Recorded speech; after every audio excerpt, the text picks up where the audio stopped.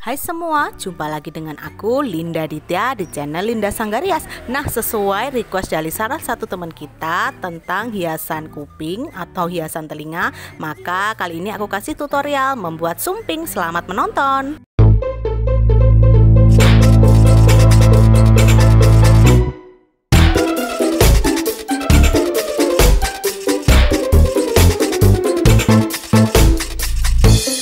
Nah, kali ini seperti biasa, sebelum membuat uh, kostum, kita terlebih dahulu membuat polanya atau menggambar polanya. Dan tutorial kali ini adalah request dari salah satu teman kita seperti ini yang sudah menulis di kolom komentar aku yang berbunyi buat hiasan telinga Kak dan sebenarnya aku masih bingung hiasan telinga itu maksudnya seperti apa tapi akhirnya aku putuskan untuk membuat sumping aja ya teman-teman. Jadi kalian bisa gunakan hiasan telinga kali ini sumping untuk kelengkapan kostum tari atau juga bisa kalian gunakan untuk kostum karnaval kalian. Nah aku di sini membuat dua pola ya teman-teman. Pola yang pertama tadi uh, ada ukiran-ukirannya gitu. Terus pola yang kedua ini bagian belakang ya. Jadi aku gunakan pola yang sedikit berbentuk uh, tinggi-tinggi gitu ya teman-teman menjalar-jalar atau apa ya bahasanya ini ya. Ya untuk volumenya lah ya.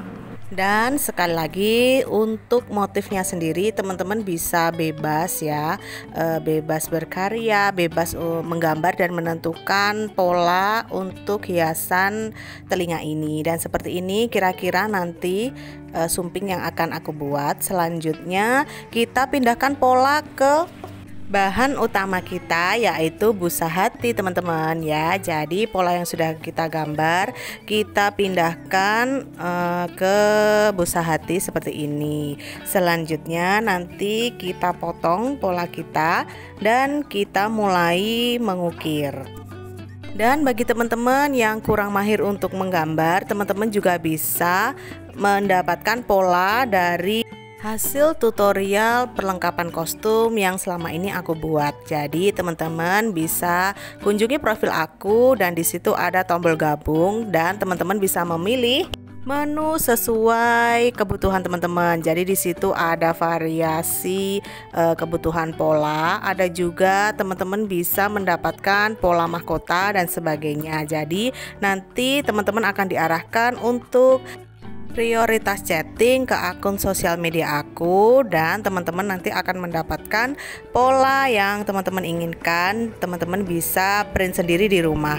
Nah lanjut ke tutorial ya teman-teman. Di sini pola yang sudah kita pindah ke busa hati kita potong seperti ini pinggirannya ya teman-teman. Setelah kita potong dua pola yang sudah kita bikin kita mulai mengukir ya. Kita bikin bentuknya kita tonjolkan motifnya dengan teknik mengukir. Nah, untuk teknik mengukirnya sendiri, aku sudah sering jelaskan di video-video aku sebelumnya. Jadi, untuk teknik mengukir, kita sedikit miringkan pisau cutter kita sehingga tidak menembus bagian belakang dari busa hati. Nah, seperti ini teman-teman, kurang lebih hasil ukiran dari pola pertama kita. Ya, kita lubangi juga bagian yang sesuai motif yang kita inginkan. Nah, selanjutnya kita juga uh, pipihkan, kita miringkan bagian pinggiran dari pola. Nah, seperti ini ya, teman-teman. Kita pipihkan, kita agak miringkan bagian pinggiran-pinggiran pola. Jadi, nanti akan membentuk motif ukiran yang cantik. Dan untuk ukuran kelengkungan dari sumping itu sendiri, teman-teman sebenarnya juga bisa mengukur sendiri sesuai dengan model yang akan memakai hiasan telinga ini atau teman-teman juga bisa mengukur kelengkungan dari telinga teman-teman sendiri ya. Jadi untuk tingkat kelengkungan sendiri bisa teman-teman sesuaikan bentuknya.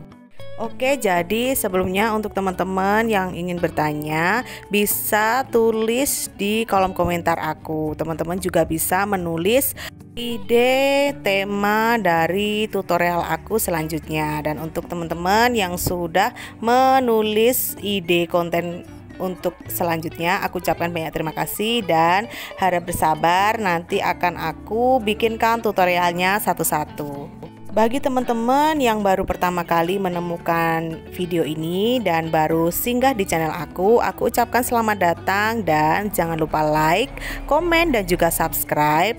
Dan di sini aku akan kasih tutorial-tutorial tentang membuat hiasan atau perlengkapan tari dan juga perlengkapan kostum karnaval.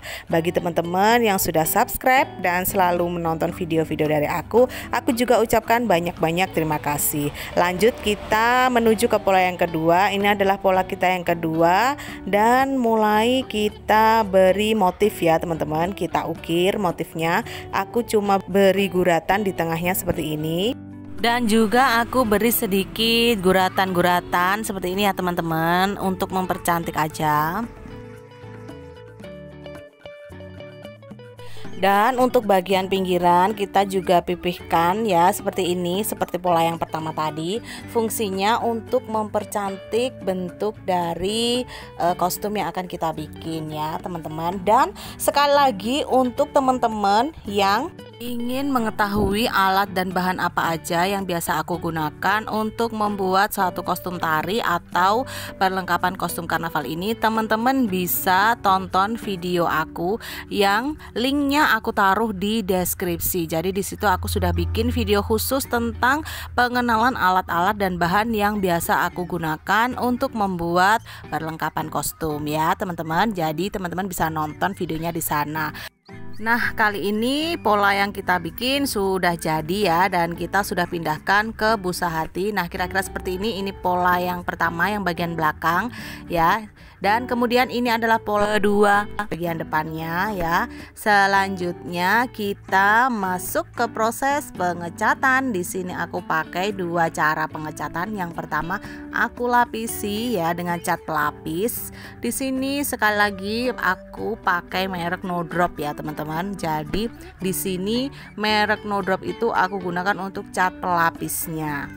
Selanjutnya aku pakai cat ya aku pakaikan cat berwarna gold ya di sini aku pakai merek apa tadi ya kalau nggak merek Penta itu ya teman-teman Nah, kita cat ya bagian depan seperti ini dan juga e, bagian pola yang depan ini bagian belakangnya nggak aku cat teman-teman. Jadi nanti e, untuk mempermudah kita dalam pengeleman. Tapi pola yang belakang itu aku cat depan belakang seperti ini ya teman-teman. Untuk teknik mengecatnya sendiri, teman-teman bisa pakai kuas ya. Jadi teman-teman bisa pakai alat dan bahan yang teman-teman punya. Dan satu lagi, ini tadi keskip ya, mohon maaf. Jadi di sini aku sudah siapkan kawat juga nanti untuk uh, ukurannya menyesuaikan ukuran dari telinga klien kita. Jadi di situ aku gunakan kawat yang ukuran kecil lalu aku lilit-lilitkan ya. Jadi dua batang kawat gitu. Terus nanti untuk lengkungannya kita sesuaikan dengan lengkungan pola kita yang paling belakang ini ya, teman-teman. Nah, jadi nanti teknik e, merekatkannya aku tunjukkan ya. Mohon maaf banget tadi ke skip ya teman-teman, nggak nggak ke video. Dan selanjutnya ini adalah teknik merekatkan pola yang pertama dan kedua dan kurang lebih jadinya seperti ini teman-teman. Selanjutnya kita proses menempelkan hiasan. Dan sekali lagi untuk hiasan ini sendiri teman-teman juga bisa sesuaikan dengan desain yang teman-teman bikin ya. Jadi ini cara menempelkannya atau hiasan apa aja yang aku gunakan itu aku sesuaikan dengan pola ukiran yang udah aku bikin ya. Jadi kalau teman-teman bikin sendiri di rumah teman-teman menggambar polanya teman-teman bisa sesuaikan penempelan hiasannya itu sesuai dengan pola yang teman-teman bikin. Jadi teman-teman bisa bikin gambar polanya itu e, gambar bunga daun atau juga gambar batik itu ya teman-teman. Jadi untuk menempelkan hiasannya sendiri juga teman-teman sesuaikan dengan pola gambaran yang teman-teman bikin. Dan di sini untuk alat dan bahannya sekali lagi ya, teman-teman bisa cek di link deskripsi aku. Di situ aku arahkan ke video pengenalan alat dan bahan ya. Mohon maaf ya teman-teman. Jadi teman-teman bisa tonton video tentang pengenalan alat dan bahan. Selanjutnya ini aku tempelkan juga hiasan yang disebut tikar kosong ya teman-teman. Teman-teman bisa beli di toko aksesoris atau perlengkapan eh, alat-alat uh, jahit itu. Ini namanya tikar kosong. Selanjutnya kita tempelkan tikar kosong di bagian yang belakang ini. Dan aku juga tempelkan uh, mutiara ya teman-teman. Mutiaranya itu mutiara yang rantai itu yang paling murah atau uh, paling terjangkau ya teman-teman Nah, untuk teman-teman yang punya pertanyaan tentang tutorial kita kali ini, teman-teman bisa tulis di kolom komentar. Nanti sebisanya akan aku jawab. Dan untuk teman-teman yang bertanya kenapa aku e, bikin tutorial membuat kostum karnaval dan juga kostum tari, jadi aku juga e, punya usaha persewaan ya, teman-teman. Di sini aku menyewakan kostum tari dan juga kostum karnaval. Dan juga jika ada yang ingin pesan kostum, aku juga bisa buatkan sesuai request tema yang klien aku inginkan. Jadi di sini aku juga bikin tutorialnya, tapi aku juga punya usaha persewaan dan juga aku e, jualan kostum ya teman-teman. Nah, jika teman-teman juga ingin punya usaha persewaan kostum, teman-teman bisa deh mulai sekarang sedikit-sedikit bikin perlengkapan kostum tari dan juga kostum karnaval. Nah, ini dia e, kawat yang sudah aku tempelkan ya. Jadi fungsinya seperti ini teman-teman. Kita bisa e, lebarkan dan kita juga bisa sempitkan kita sesuaikan dengan telinga klien kita ya. Jadi di sini sedikit kepanjangan nanti aku potong. Dan alhasil jadinya seperti ini teman-teman. Kurang lebih mohon maaf ya apabila kurang indah dan juga kurang berkenan. Tapi sebisanya aku bikin tutorial tentang hiasan telinga atau sumping seperti ini dia contoh pemasangan ke klien. Dan sekian tutorial membuat hiasan telinga dari aku. Semoga bermanfaat. Dan terima kasih sudah menonton. Sampai jumpa di video aku selanjutnya. Bye bye jangan lupa subscribe ya